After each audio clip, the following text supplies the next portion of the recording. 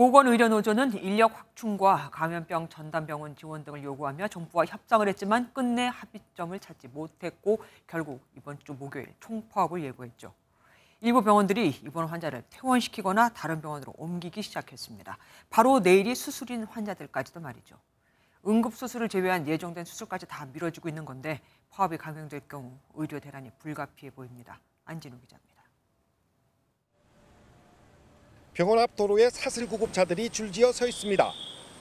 침대에 실려 나온 환자가 대기하고 있던 구급차를 타고 이동합니다.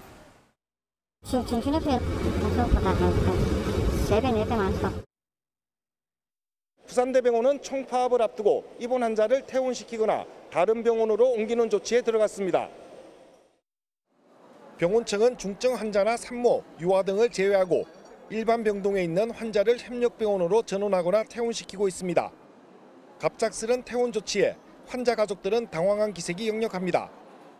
한강하지요. 뭐 내일 수술을 해야 되는데 무조건 가라 하니 뭐. 국립암센터도 환자를 선별해 퇴원 조치하고 있고 이번 주부터 새로운 환자는 받지 않고 있습니다. 보건의료노조는 인력 확충과 감염병 전담병원 지원 등을 요구하며 정부와 협상을 벌였지만 끝내 합의점을 찾지 못했습니다. 이번 파업엔 필수 의료 인력과 의사를 제외한 역대 최대 규모인 조합원 4만여 명이 참여할 것으로 예상돼 의료 대란이 불가피해 보입니다. MBN 뉴스 안진우입니다. 안녕하세요. 김주하입니다. 공정하고 신속한 MBN 뉴스 유튜브를 통해서도 만나보실 수 있습니다.